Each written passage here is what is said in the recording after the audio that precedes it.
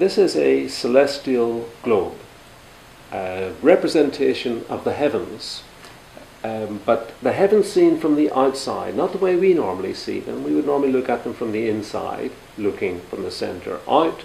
Uh, this is a globe, a celestial globe seen from the outside. Um, it's a very important one in the history of scientific instruments because it's the earliest surviving celestial printed globe in the world. There are, in fact, two examples. Being a printed globe, we can have more than uh, one. But um, this is the earliest example. Um, and it's a technology that's going to become important. You've seen so many globes, printed globes uh, of, the, of the heavens and the earth. It's going to be important, and here we have the very first made in 1534, or thereabouts, in Nuremberg in southern Germany. And you might well ask, how could it have been made?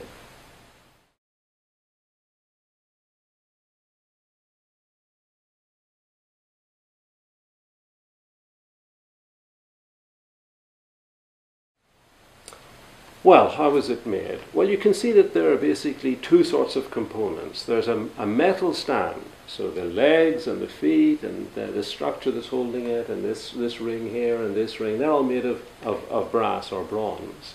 Then within that, within that, and with the ability to turn round because of the metal structure, there is essentially a printed object.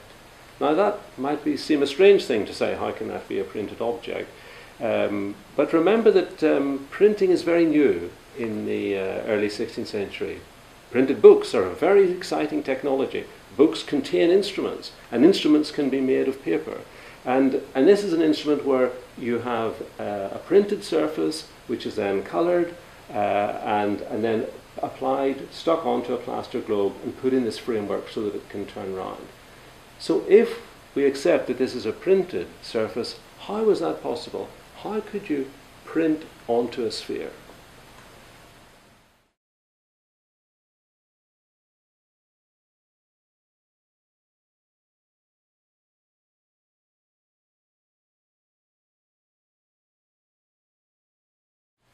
So how can you print a sphere?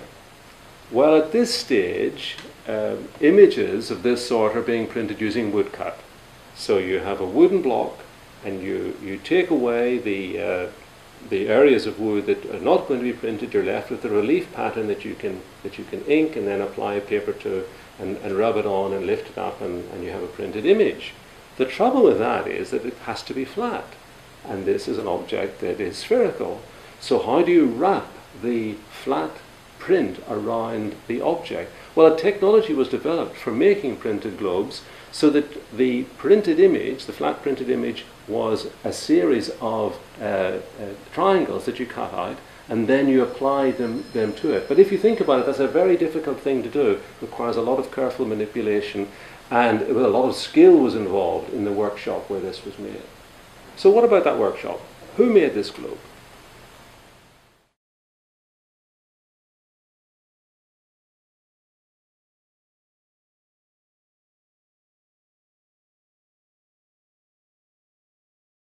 This globe was made by one of the most famous astronomers of his time, a man called Johann Schoener, who lived and worked and taught and made things in Nuremberg.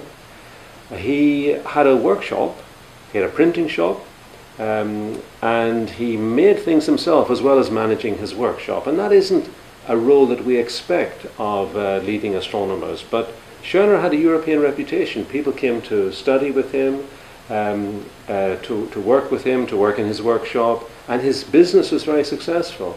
He made and sold his globes through agents throughout Europe. So you might ask, well, how can a leading astronomer also be a craftsman, also have a workshop and produce things? That's not something we expect today.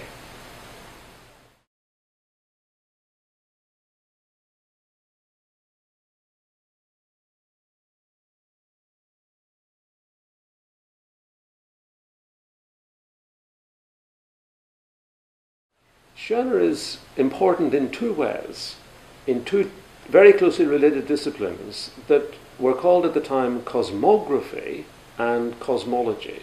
So, what's cosmography, first of all? Well, cosmography is the relationship between the heavens and the earth. uh, and the representation through things like globes. Schoener was a cosmographer. He produced maps, he printed maps, he, he produced these globes. Schoener's great contribution to cosmography was the production of two globes. This celestial globe had a terrestrial companion originally, and you worked with both of them to show how time came from the rotation of the heavens, how the seasonal change came from the, the motion of the, of the sun, how location on earth uh, was, was uh, reflected in the appearance of the heavens. And for that, it was very useful to have two globes to work uh, with uh, together a, a, celestial here and, and a terrestrial. So, cosmography was one discipline where Schoener was important in his day, and the other was cosmology.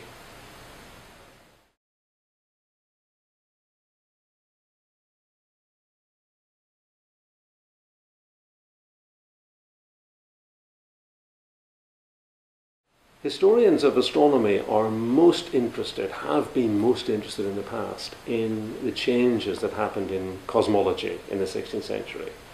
There, Copernicus was enormously innovative in, deci- in saying that it wasn't the Earth stationary at the center of the cosmos, but the Sun, and the Earth was a planet moving around the Sun. What had Schoener to do with that? Well, Schoener had heard about this uh, chap in the far north of Germany, in Frauenburg, a canon, in the cathedral there, with these very original ideas about cosmology. And he persuaded a disciple of his, a man called Rheticus, to go north to uh, Copernicus to find out what this idea was. Uh, Copernicus had been very reluctant to publish, and uh, but he was encouraged by by uh, Rheticus uh, to, to try out a publication. They publish one book, which is, which is actually dedicated to Schoener.